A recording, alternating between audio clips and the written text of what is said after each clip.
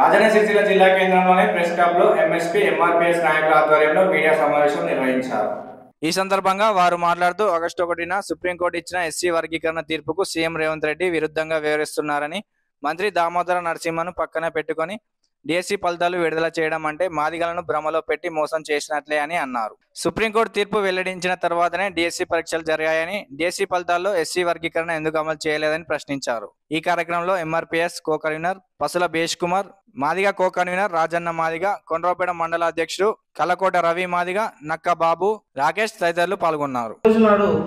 గౌరవ ముఖ్యమంత్రి గారు నిండు శాసనసభలో మాదిలకు నేను మాటిస్తున్నా అనే అనే పద్ధతిలో మొత్తం మాదిగా మంత్రులు మాది ఎమ్మెల్యేలతోని నేను కమిటీ వేసి వర్గీకరణ అందరికన్నా ముందు నేను తొందరగా అమలు చేస్తానని మాటించిన గౌరవ శ్రీ రేవంత్ రెడ్డి గారికి ఈరోజు వర్గీకరణను అమలు చేయకుండా మరియు కమిటీలను కాలయాపన చేసుకుంటూ ఇప్పటి వరకు కాలయాపన చేయడం సరికాదు. మరియు ఇప్పుడు ఏంటంటే తొమ్మిది తారీఖు నాడే మేము ఉద్యోగాలకు పత్రాలు ఇస్తున్నామని చెప్పడం ఇది హేయమైన ఆలోచన.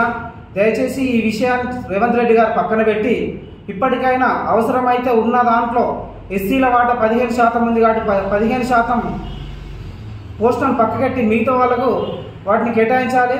తర్వాత దీన్ని చేసిన తర్వాత మాదిగలకు మాది ఉపకులాలకు న్యాయం చేయాలని రేవంత్ రెడ్డి గారిని మేము రేవంత్ రెడ్డి ప్రభుత్వాన్ని ఎంఆర్పీఎస్ తరఫున తెలియజేస్తున్నాం. జై ఈరోజు రాజన్న సిరిసిల్ల జిల్లా కేంద్రంలో మరి గౌరవ శ్రీ మందాకృష్ణ మాలయ్య గారు నిన్న ఇచ్చిన రాష్ట్ర వ్యాప్త పిలుపు మేరకు ఏదైతే ఆగస్టు ఒకటి నాడు మరి సుప్రీంకోర్టు ఇచ్చిన ధర్మాసనం తీర్పును స్వాగతిస్తున్నానని నిండు సభలో మాట్లాడినటువంటి ముఖ్యమంత్రి గారు రెండు నెలల నుంచి వేచి చూడడం జరిగింది. రెండు నెలలలో కంప్లీట్ చేస్తామని చెప్పేసి కమిటేసి ఇవాళ పంజాబ్ హర్యానా పంజాబ్ తమిళనాడు ఇవన్నీ వెళ్ళి మేము అధ్యయనం చేస్తామని చెప్పేసి చెప్పడం జరిగింది. మరి ఆ అధ్యయనం కూడా చేయడానికి వెళ్ళే సమయంలో మరి కొంతమంది మాల సోదరులు స్వార్థపరులు మీ ఒత్తిడిపై ఒత్తిడి మేరకు మరి కొంచెం వెనుకకు తగ్గినట్టే మరి స్పష్టంగా కనబడుతుంది.